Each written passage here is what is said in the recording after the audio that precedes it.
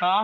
वो इतनी सारी बियर समोसे पिज्जा ये सब क्या है? ये खाना है। फ़ूड फॉर थॉट अच्छा तूने मुझे बटिंडा का समझा है। वो कौन सा वेजिटेबल है Bathinda? Don't try to be over friendly with me मुझे मालूम है ये सब खाने पीने का सामान तुम लोग क्यों लाए हो। अरे तो फिर पूछ क्यों रहे हो?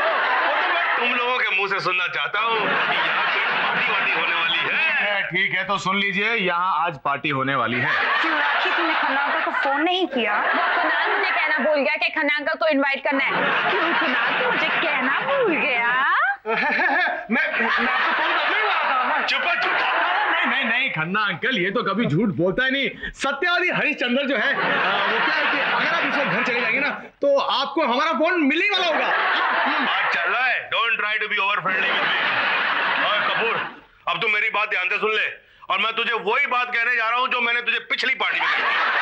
जब तक मैं इस सोसाइटी का चेयरमैन हूँ इस सोसाइटी की बिल्डिंग में कोई पार्टी वार्टी नहीं हो सकती। नहीं नहीं खन्ना अंकल देखो लास्ट टाइम क्या हुआ था कि हमारी पार्टी में ज़्यादा शोर हो गया था लेकिन क्वाइट बाय एक्सीडेंट शोर? और मेरे कान फट गए थे।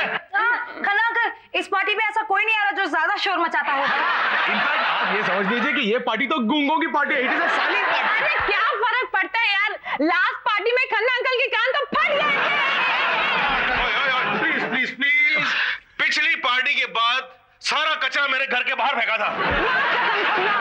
इस पार्टी के बाद सारा कचरा हम आपके घर के अंदर फेंकेंगे। अंकल ये तो मज़ाक कर रही है। इसका मतलब ये है कि सारा कचरा हम लोग किसी गार्बेज बिन में फेंकेंगे। मैं कुछ सुनना नहीं चाहता हूँ। बस। जब तक मैं सोसाइटी का चेयरमैन हूँ यहाँ कोई पार्टी वार्टी नहीं होगी मेरी बात तो सुनिए मैं कुछ नहीं प्लीज़